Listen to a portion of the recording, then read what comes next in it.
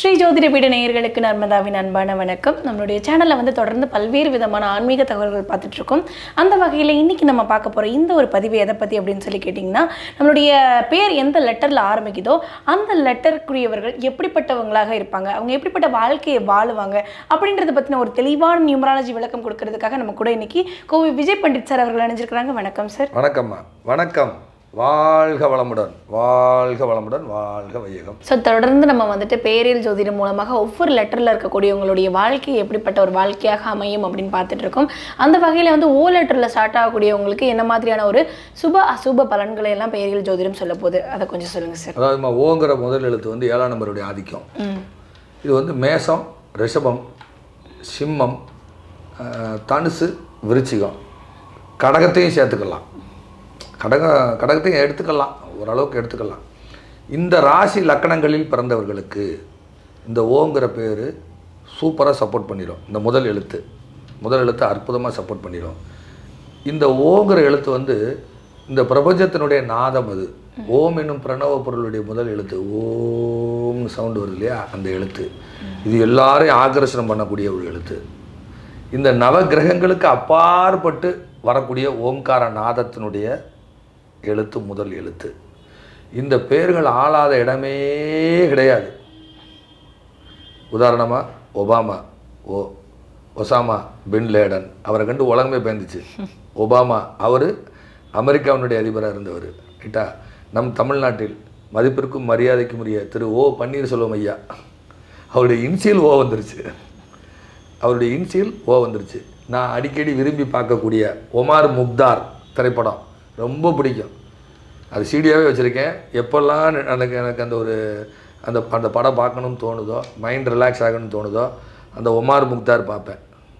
அந்த வயசான அந்த கேரக்டரு அந்த ஒமார் முக்தார் அந்த லிபியா அந்த லிபியாவில் நடந்த அந்த மண் அந்த யுத்தம் அந்த இத்தாலி நாட்டுக்காரோட நடக்கக்கூடிய போர் தந்திரங்கள் அவருடைய அவருடைய அந்த அந்த குரான் படிக்கும் ஸ்டைலு அவர் அந்த எழுதக்கூடிய அந்த குரான் குழந்தைகளுக்கு டீச் பண்ணுறது அந்த படம் என்னை ரொம்ப ஆளுமை கொண்ட திரைப்படம். ஏன்னா எனக்கு சூரியன் பலமாக இருக்குது சூரியன் தான் ஓம் என்னும் பிரணவ பொருள். என் ஜாதகத்துக்கு சம்மந்தம் இல்லாமல் பிரணவன்னு பேர் வச்சேன். அதனால தான் தோத்தேன். அது மாதிரி பார்த்தீங்கன்னா அந்த ஓ எழுத்து நிறைய இருக்குது அந்த இப்போ உதாரணமாக என்ன சொல்கிறதுனா இப்போ ஒபாமா ஐயா பேர் வந்துடுது ஒசாமா பின் லேடன் அவருடைய பேர் வந்துடுது திரு ஓ பன்னீர்செல்வம் ஐயா. அவர் சொல்லும் போதே ஓன் தான் முதல்ல சொல்லிடுறோம். அப்போ அந்த ஓங்கிற எழுத்து அவர் ஆளுமை செஞ்சிருது. பன்னீர்செல்வம் ஐயான்னு யாருக்கும் தெரியாது. என்ன கூப்பிடுறோமோ அதுதான் ஆமாம் அது அவங்க அப்பா பேர் தான் அங்கே அதிகமாக ஆதிக்கம் வந்துடுது அவங்களுடைய ஐயாவுடைய தகப்பனாருடைய பேர் தான் அதிகம் ஆதிக்கம். யாருமே அவருக்கா பன்னீர்செல்வம் ஐயான்னு யாரும் சொல்கிறது இல்லை பன்னீர்செல்வம்னா யாரோ ஒரு பன்னீர்செல்வத்தை சொல்கிறாங்கன்னு நினச்சிக்குவாங்க. ஆனால் ஐயா பேர் அங்கே ஓன் சேர்த்தா தான் அவர் பேர் டக்குன்னு ஞாபகம் வரும். நீங்கள் ரோட்டில் போய் பன்னீர்செல்வம் யாரையா கூப்பிடுங்க? யாரா யாரா யாரையாச்சும் கேட்டீங்கன்னு சொல்லுவாங்க சென்னையில் பன்னீர்செல்வம் ஐயா தெரியுமான்னு கேட்டால் சொல்லுவாங்க. எந்த பன்னீர்செல்வம் அப்படின்வாங்க ஓ பன்னீர்செல்வம் ஐயான்னு சொல்லுங்க. எல்லாருக்கும் தெரியும். அப்போ அந்த ஓங்கிற பிரணவ பொருள் அவரை ஆள்கிறது. பிரணவ பொருள் ஆள்கிறது. அதே மாதிரி பார்த்தீங்கன்னா நம்ம ஓமன் நாடு. Sultanate of Oman. ஆனால் சொல்கிறது என்ன சொல்கிறோம் ஓமன் தான் சொல்கிறோம் ஓம் அதே மாதிரி ஓம்கார குடில். நம்ம துறையூரில் இருக்குது ஓம்கார குடில். அதே மாதிரி ஓம்கார். ஓம்கார் நாத் இது மாதிரி பேர்லாம் நிறைய இருக்காங்க. ஒட்டன் சத்திரம் காய்கறி இன்னும் உற்பத்தி ஆகி ஓடியாந்துக்கிட்டு இருக்கு. கோயம்புத்தூரில் ஒண்டிப்புதூர் அது ஒரு ஆளுமை மிக்க ஒரு பகுதி. ஒண்டிப்புதூர் இப்போ ஓனாலே ஆளுமைன்னு நம்ம எடுத்துக்கலாமா சார்? Hundred percent. இந்தந்த லக்னத்தில் இருக்கிறவங்களுக்கு இந்த ஓன்ற லெட்டர் வந்து உச்சத்தை கொடுக்கும். இந்தந்த லக்னத்தில் இருக்கவங்களுக்கு பாதகத்தை கொடுக்கும் அப்படின்ற மாதிரி நான் சொன்னேன் இல்லைங்களா? இந்த இந்த லக்கணக்காரங்களுக்கெல்லாம் நான் சொன்ன லக்கணக்காரங்கள் ராசி அதிபதிகளுக்கெல்லாம் பிரச்சனை இல்லை. இந்த பேரோட தொடர்பு கொள்ளக்கூடிய லக்கணங்கள் அதெல்லாம். இதெல்லாம் அந்த பேரோட தொடர்பு கொள்ளக்கூடிய லக்கணங்கள். இந்த பேரோட தொடர்பு கொள்ளாத லக்கணமாக வந்துருச்சுன்னா இந்த பேர் வச்சு புண்ணியம் இல்லைன்னு சொல்ல வர்றேன். ஒன்று இந்த ராசி லக்கணமாகவோ இவங்க வரணும். தனுசு வீடு மேச வீடு நான் சொன்ன இந்த ராசிகள் எல்லாமே ரிஷப வீடு இதுகெல்லாம் அங்கே உள்ளே வரணும். கடகம் வந்தாலும் ஓகே. ஏன்னா கடகத்துக்கு ரெண்டாவது விதியே சூரியன். கடகத்தை கூட நான் ஏற்றுக்கிறேன்னு சொல்கிறேன் மற்ற லக்கணமாக வரும் பொழுது மத்தியமமான பலனை செய்கிறது அல்லது ஜீரோ முட்டையாகிறது. இந்த லக்கணம் ராசியாக வருபவர்களுக்கு வளர்ச்சி வளர்ச்சி வளர்ச்சி வளர்ச்சி வளர்ச்சி. ஆனாலும் இந்த ஓங்கிற எழுத்து நீங்கள் ஜாதகத்தை மீறி அடிக்கும். உங்கள் ஜாதகத்தை மீறி அடிக்கும். ஒபாமாவுன்னா எல்லாருக்கும் தெரியாத ஆள் யார் இருக்காங்களா? ஒசாமா பின் தான் எல்லாருக்கும் தெரியாத ஆள் யார் இருக்கா? நமக்கு ஃப்ரெண்டு ஒருத்தர் இருக்கார் ஒளி முகமதுன்னு. பெரிய ஆள் பெரிய பிஸ்னஸ் பண்ணிகிட்டு இருக்காரு. பேரே ஒளி முகமது. என்கிட்ட வந்து அடிக்கடி கேட்பார் ஏதாவது பேரை மாற்றலாமா அப்படின்வார் பேசாமல் போங்க உங்கள் பேர்லேயே ஒளி இருக்கு போங்க அதையே மாத்திரங்கிறீங்க பேரே ஒளி முகமது துபாயில் இருக்கார். அடிக்கடி பேசுவார். இந்த பாருங்க பேர்லேயே ஒளி இருக்குது வெளிச்சத்தையே மறைக்கணுங்கிறீங்க போங்க அப்படின்வேன் சரி சரி இப்படியே சொல்லி சமாளிங்க அப்படின்வாரு நல்லா இருக்குல்ல.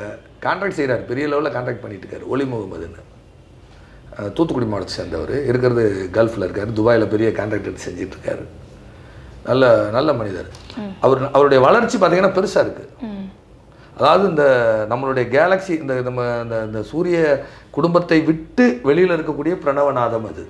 ம். நவ கிரகங்களை விட்டுட்டு வெளியில் இருக்கக்கூடிய ஒரு பிரபஞ்சத்தினுடைய மையத்திலேருந்து வரக்கூடிய நாதம் தான் இந்த ஓம்கார நாதம். இது ரொம்ப ஒரு ஆனால் இவங்களுக்கு இந்த ராசி லக்கணம் இருக்கணும் இதுவாக இருக்கணும். அல்லது சூரியனுடைய நட்சத்திரம் அல்லது லக்கண புள்ளி சூரியனுடைய லக்கண புள்ளி இதெல்லாம் வந்துருச்சுன்னா டாப் போஸ்ட் அவங்க. அவங்க ஜாதகம் சூரியன் பலமாயிருச்சுன்னா இதில் சூரியன் பலமானா ரொம்ப சூப்பர். ஆட்சி உச்சமானாலும் சூப்பர். இது சூரியன் சூரியன் தான் ஓம்காரநாதம்னு அதுக்கு பேர். ஓகே சார் இந்த பிரபஞ்சத்தினுடைய நை நடு மையத்துலேருந்து வருது அந்த சத்தம். இப்போ கூட நம்ம நாசால வி விண்வெளி ஆராய்ச்சி நாசால வந்து அந்த சூரியனை சூரியன்லேருந்து ஓங்கிற சவுண்டு வருதுன்னு கண்டுபிடிச்சி இப்போ கூட நெட்ல எல்லாம் வெளியே வந்து நியூஸ்ல எல்லாம் வந்துச்சு. ஓம்ங்கிற சவுண்டு அப்போ அந்த ஓ அப்படின்ற லெட்டர்ல தொடங்கக்கூடிய பேர்கள் கொண்டவர்கள் வந்து ஒரு சிறப்பான ஒரு லைஃப் ஸ்டைல் அவங்களுக்கு இந்த லக்கண ராசியை நான் சொன்ன லக்கண ராசியாக வரணும். அது இல்லாதவங்களுக்கு சார் ஒருவேளை அந்த லக்கணத்திலையும் அந்த ராசியிலையும் அமையப்பெறாத ஒரு ஓ லெட்டர்ல இருக்கக்கூடியவங்களுக்கு? ஜாதகம் வேலை செய்யாது. பிரச்சனைகள் அதிகமா இருக்குமா? இல்ல வெறுமனே சாதாரணமான ஒரு வாழ்க்கை? எங்கள் ஊரில் ஒச்சு பால ஒ- ஒச்சா தேவர்னு ஒருத்தர் இருக்கார் எங்கள் ஊரில். அவர் அவர் திருமங்கலத்துக்காரர் இருக்கிறது சங்கரன் கோயில் இருக்கார். அவர் சாதாரணமான ஆளாக இருக்கார். அவர் ஜாதகத்தை வாங்கி பார்த்தா இதுக்கு இதுக்கு சம்மந்தமே இல்லை. இது பேருக்கிற மாற்றுங்க என்ன ஏப்பா இத்தனை வயசுக்கு அப்புறம் பேரை மாத்திர ஊரில் நீ சிரிக்க மாட்டாங்க அப்படிங்கிறாரு. அவர் கலாசியாக இருக்கார் மூட்டை தூக்குறாரு. போப்பா நீ வேற அப்படின்றாரு. இப்போ போய் என்னை போய் வயசான காலத்தில் போய் என்னை பேர் மாற்ற சொல்றிய. நான் சும்மா விளையாட்டுக்கு சொன்னேன் போங்க அப்படின்னு நான் அவர் வயசாகி போச்சு. அவர் ஒரு அந்த ராசி லக்கணம் அவனை பிறந்த தே ஜாதகம் வச்சிருக்காரு. இந்த இதில் எதுவுமே அவருக்கு இல்லை. என்னுடைய ஆய்வில் இது தொடர்பில் இருக்கிறவங்களாம் விஐபியாக இருக்காங்க நல்லா இருக்காங்க ஃபினான்ஷியலாக ஸ்டேட்டஸாக நல்லா இருக்காங்கன்னு சொல்ல வர்றேன். எவ்வளோதான் கோச்சார கிரகங்கள் வந்தாலும் அவங்க பாதிப்பது இல்லை. பேருக்கான முதல் எழுத்து அதுவாக வந்து நான் சொல்லக்கூடிய ராசி லக்கணமாக இருப்பவர்கள் எவ்வளோ கஷ்டம் வந்தாலும் தப்பித்துக் கொள்கிறார்கள்.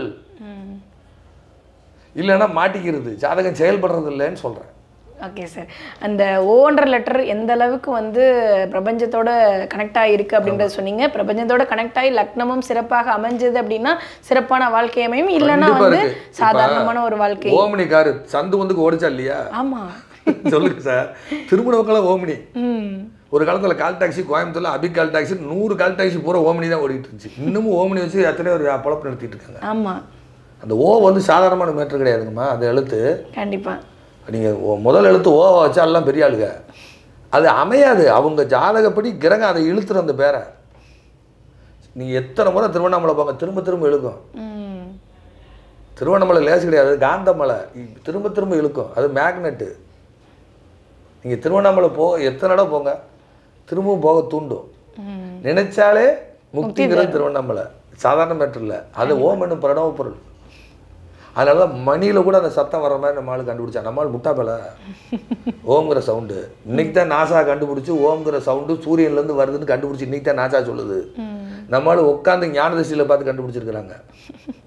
சாதாரண விஷயம் கிடையாது. கண்டிப்பா கண்டிப்பா சார் சரிப்பா. இந்த ஓன்ற எழுத்து வந்துட்டு எப்படிப்பட்ட ஒரு வாழ்க்கையை வாழ முடியும் எப்படிப்பட்ட ஒரு வாழ்க்கையை வந்து இந்த கிரக நிலைப்பாடுகள் இந்த லக்கணங்கள் சரியாக இருந்தால் அமையும் அப்படின்னு தெளிவான விளக்கம் கொடுத்தீங்க. கண்டிப்பா இதை பார்த்துக்கிட்டு இருக்கக்கூடிய நேயர்களுக்கு ரொம்ப பயனுள்ளதா இருக்கும். நம்புறோம். ரொம்ப நன்றி நன்றிப்பா நன்றிப்பா வணக்கம். வாழ்க வளமுடன் வாழ்க வளமுடன்.